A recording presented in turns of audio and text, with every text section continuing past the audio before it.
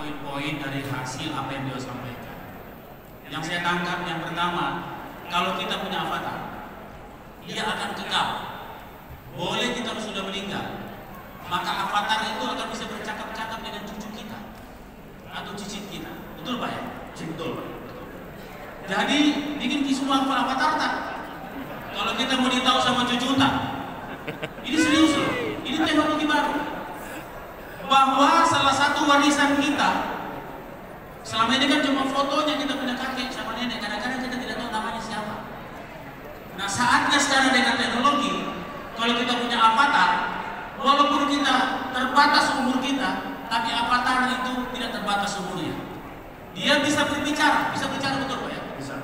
Jadi dia bisa berbicara kalau kita sudah meninggal, terus cucu kita mau ketemu kakeknya di avatar, maka di, di metaverse dia bisa bercakap-cakap dengan kakeknya. Betul Pak ya? Betul sekali. Nah, itu yang pertama. Jadi ini perlu para alim ulama juga eh, memberikan fatwanya soal ini.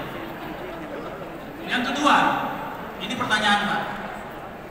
Kalau saya ingin memperkenalkan kota saya, seperti apa yang kita berdiri di, di, di tempat ini, ini adalah peta kota Makassar yang sudah direvisi.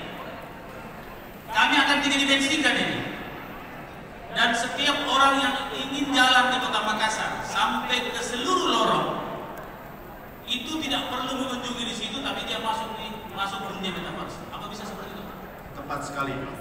Jadi nanti kalau Makaverse jadi kita semua bisa berkunjung ke kota Makassar 24 jam 7 hari persis perbandingannya satu banding satu dan kita bisa memiliki bahkan lahannya dan kita bisa mengisinya dengan konten-konten yang positif sehingga kita bisa berinteraksi di dalam kota virtualnya secara 3D Walaupun manusianya sudah istirahat, tapi avatarnya bisa melayani kalau ada yang tanya. bisa Nah ini teman-teman sekalian ini hal baru saya perlu mempertegas saja. Kalau kita sudah bikin avatar, misalnya Pak Sekda bikin avatar, Pak, Sekda lagi tidur, kemudian ada yang tanya kepada Pak Sekda, itu bisa. Karena dia tanya ke avatarnya. Cocok begitu Pak? betul.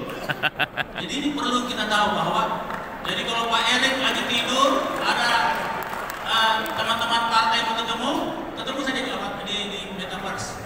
Biar Pak Erik lagi tidur. Jadi kalau ada yang suka tidur siang, ini paling menolong ini. Ini bisa tidur siang. Bikin cepat kita punya avatar supaya kita bisa tidur siang. Jadi tidak tidak dihalangi tidur tidur paginya kita. Kira-kira begitu. Jadi yang suka tidur pagi ini menolong sekali cepat kita punya avatar. Cocok Pak ya? betul Nah, yang ketiga, ini banyak pertanyaan saya nih. Pendidikan tadi. Tadi pendidikan itu anak-anak saja tidak pernah ada anak-anak tidak pernah lihat ayam. Tidak pernah tahu anak ayam itu bertelur. Avatar bisa menolong kita dengan re- reality, dengan virtual reality tadi. Bahkan anak saya juga Pak, waktu tes TK ada isian. Air di maksudnya dimasak dia tulis air di pencet. Dia tidak pernah lihat air dimasak. Dia hanya lihat dari kecil air dipencet beda dengan kita kalau air dimasak ini saya kaget juga ada anak tulis air dipencet. Nah artinya ini sebuah perkembangan pikiran generasi. Pertanyaan berikutnya pak. Ini banyak-banyak ini.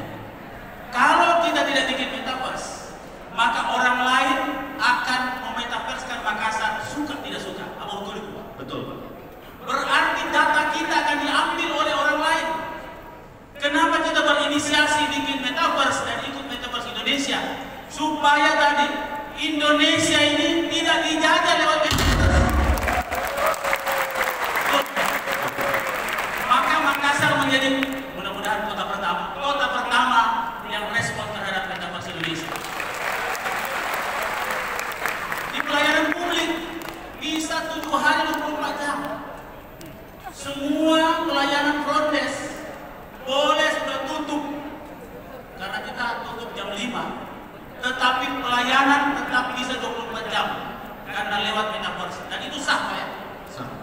sah menurut hukum. Nah, kenapa kita mesti metaforis? Karena kita ingin Makassar 24 jam, kita ingin pelayanan tidak pernah berhenti, kita ingin ekonomi berputar lebih cepat, dan kita ingin semua masyarakat terlibat di dalamnya. Kenapa kami hadirkan ini? Kocok gitu, Pak. Kecuali belum bisa kami secara metaforis. Kalau sekarang, kalau saksi nikah bisa. Karena lewat telepon, apa namanya perwali. Gak bisa takut tanya itu, ada istriku sini.